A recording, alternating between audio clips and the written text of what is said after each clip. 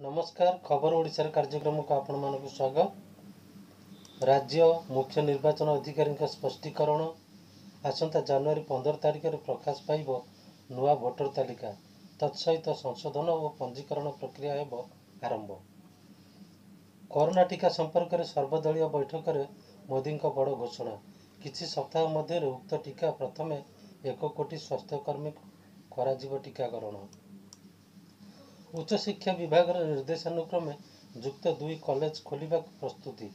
ବିଶୋଧନ ଓ ସଫା କରି ଚାଲୁ କରିବା ପାଇଁ କ୍ଲାସରୁମର କରାଯିବ ପ୍ରସ୍ତୁତ। ଭୁବନେଶ୍ୱର ପାଣିପାଗ କାର୍ଯ୍ୟାଳୟରୁ ପ୍ରକାଶ ରାଜ୍ୟରେ ଆହୁରି ଦୁଇ ଦିନ ପଡ଼ିବ ଘନ କୁହୁଡ଼ି। ପୁଣି ତା ସାଙ୍ଗକୁ ପାଞ୍ଚ ଦିନ ଶୀତ ଜାରି ରହିବ।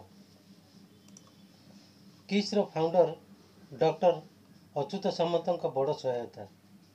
ସ୍ୱାବଲମ୍ବୀ ହେଲେ ଭରତପୁର ସ୍ଥିତ ଇଣ୍ଡିଆ ଚାରିଟେବୁଲ୍ ଟ୍ରଷ୍ଟର ଦିବ୍ୟାଙ୍ଗ ଯୁବକ ଯୁବତୀ। ଖୋଲୁଛି ପ୍ରଦୀପଙ୍କ ଅନୈତିକ ଆର୍ଥିକ କାରବାରର ଗୁମର। ଚେକ୍ରେ ନେଇଛନ୍ତି ଚାଳିଶ ଲକ୍ଷ। ଏସ୍ବିଆଇର ଅନଲାଇନ୍ ଟ୍ରାଞ୍ଜାକ୍ସନ୍ ହେଉନଥିବା ଅଭିଯୋଗ ସୋସିଆଲ ମିଡ଼ିଆରେ ଅସନ୍ତୋଷ ଜାହିର କଲେ ଗ୍ରାହକ। ଆଜି ପାଇଁ ଖବର ଓଡ଼ିଶାର କାର୍ଯ୍ୟକ୍ରମକୁ ଏଇଠି ରଖୁଛୁ। ଧନ୍ୟବାଦ। Bureau report Raj TV Odisha.